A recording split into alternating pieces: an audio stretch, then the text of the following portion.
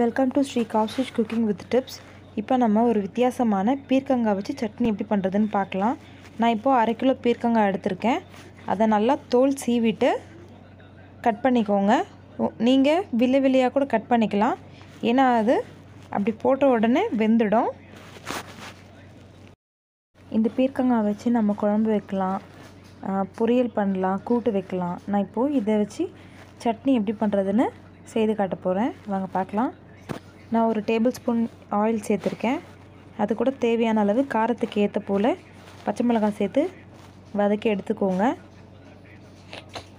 நான் எனக்கு தேவையான பச்சை மிளகாய் சேர்த்துருக்கேன். உங்களுக்கு எவ்வளோ தேவையோ நீங்கள் கூட்டவோ குறையவோ சேர்த்துக்கலாம். வதங்கட்டும். ஸ்டவ் வந்து ஸ்லோ ஃப்ளேமில் வச்சுக்கோங்க. இப்போ வதங்கி வந்துருச்சு. நான் இந்த ஸ்டேஜில் வந்து எடுத்துடுறேன்.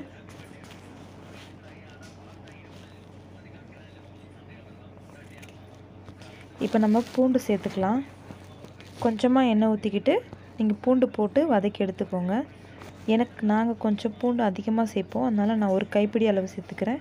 நீங்கள் வந்து ஒரு எட்டுலேருந்து பத்து பல் சேர்த்தா போதும். அது கூடவே வெட்டி வச்சுருக்கேன் ரெண்டு பெரிய வெங்காயத்தை நான் சேர்த்துக்கிறேன். அதுவும் நல்லா பொன்னிறமாக வதங்கணும். ஒரு அஞ்சு நிமிஷத்தில் வெங்காயம் இந்த அளவு வதங்கிடுச்சு. இந்தளவு வதங்கினா போதும். எடுத்து வச்சுக்கலாம். இப்போ நம்ம வெட்டி வச்சுருக்க பீர்க்கங்காய் எடுத்து வதக்கி விட்டுக்கலாம். பீர்க்கங்காய்க்கு கொஞ்சம் எண்ணெய் அதிகமாக சேர்த்துக்கோங்க. நான் ரெண்டு டேபிள் ஸ்பூன் எண்ணெய் சேர்த்துக்கிறேன். பீர்க்கங்காய் நல்லா வதங்கி வரட்டும். தண்ணி எதுவுமே சேர்க்காதீங்க. அதுலேயே தண்ணி விட்டுரும். அது வந்து ஒரு பத்து நிமிஷத்துக்குள்ளே நம்மளுக்கு வதங்கி வந்துடும். நான் வதக்கிட்டு காட்டுறேன். இந்த ஸ்டேஜில் நம்ம எடுத்துடலாம். இப்போது நான் நாலு பழமான தக்காளி எடுத்திருக்கேன். அது கூட ஒரு சின்ன கோலி குண்டு அளவு புளி சேர்த்துக்கோங்க. தக்காளி நல்லா வதங்கி வந்துடுச்சு இந்த அளவு வதங்கணும். இப்போ நான் அரைச்சிட்டு காட்டுறேன். அதுக்கு முன்னாடி நம்ம தாளித்து எடுக்கலாம். தாளிக்கிறதுக்கு நான் ரெண்டு டேபிள் ஸ்பூன் கடலெண்ணெய் சேர்த்துருக்கேன். தாளிக்கும் போது கடலெண்ணெய் சேர்த்தா ரொம்ப ரொம்ப மணமாகவும் ரொம்ப சுவையாகவும் இருக்கும். நீங்களும் அதை ஃபாலோ பண்ணி பாருங்கள் இப்போ கடுகு உளுந்த பருப்பு சேர்த்துக்கலாம். கடுகு பொரிஞ்சதும் ஒரு ஸ்பூன் வெள்ளை உளுந்து சேர்த்துக்கோங்க. வாயில் கடிப்பட்டுறதுக்கு நல்லாயிருக்கும் உளுந்து வதங்கின பிறகு இடித்த பத்து பல் பூண்டு சேர்த்துக்கிறேன். அது கூடவே ஒரு ஸ்பூன் சீரகம் சேர்த்துக்கோங்க. அது கூடவே நாலு காஞ்ச மிளகாய் கிள்ளி வச்சுருக்கேன். அது போட்டுக்கோங்க. போட்டு வதக்கிட்டு அது கூடவே கருவேப்பிலை சேர்த்துக்கோங்க.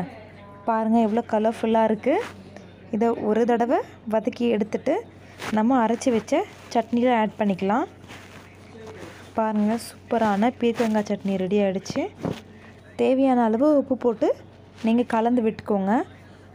இந்த சட்னி வந்து ரைஸ்க்கு நல்ல காம்பினேஷன் அதோட தோசையோட தொட்டு சாப்பிட்டிங்கன்னா அவ்வளோ சூப்பராக இருக்கும். நீங்கள் ஒரு டைம் ட்ரை பண்ணி பாருங்கள் இந்த வீடியோ உங்களுக்கு பிடிச்சிருந்தா லைக் பண்ணுங்கள் ஷேர் பண்ணுங்கள் சப்ஸ்கிரைப் பண்ணுங்கள் மறக்காமல் பெல் ஐக்கானை கிளிக் பண்ணுங்கள் தேங்க்ஸ் ஃபார் வாட்சிங்